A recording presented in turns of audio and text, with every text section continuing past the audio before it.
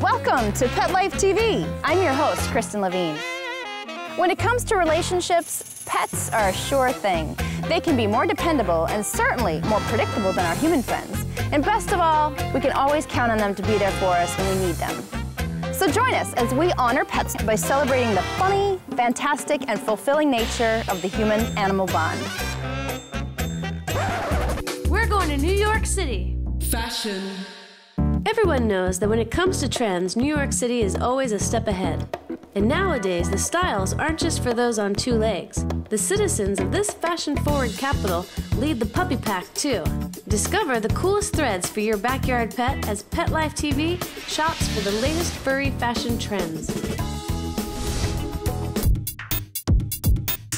anything with tattoo art on it. So this is a camouflage tank top, little gingham uh, cowgirl dress. And another hot item in the East Village is the CBGB's t-shirt.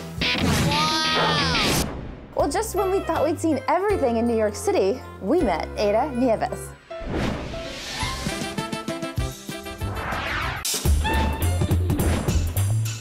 City dogs are so social.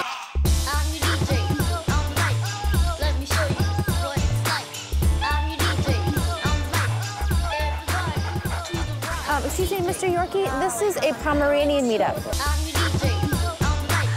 Let me Oh man, dogs are dumb. I'm your DJ.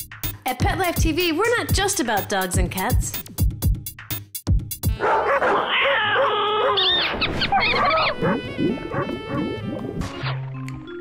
When it comes to the term pet, ants don't usually come to mind.